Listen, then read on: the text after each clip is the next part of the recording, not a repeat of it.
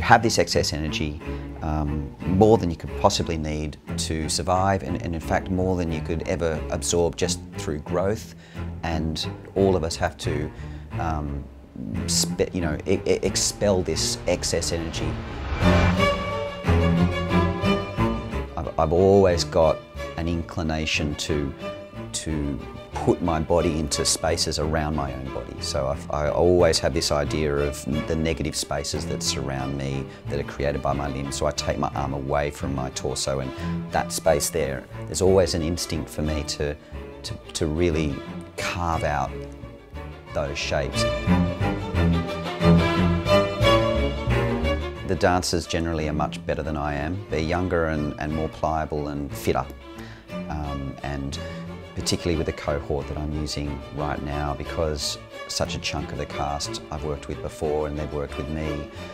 They're very, you know, familiar with the language I'm using this time around.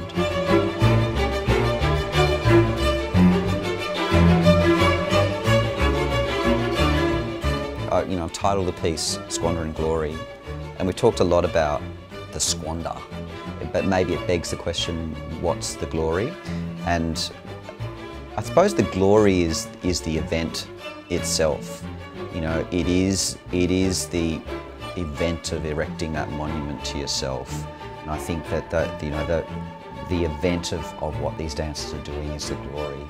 Maybe it's gone forever once they've done it, it's expelled from them, but that the act is the thing that, that contains the glory for me.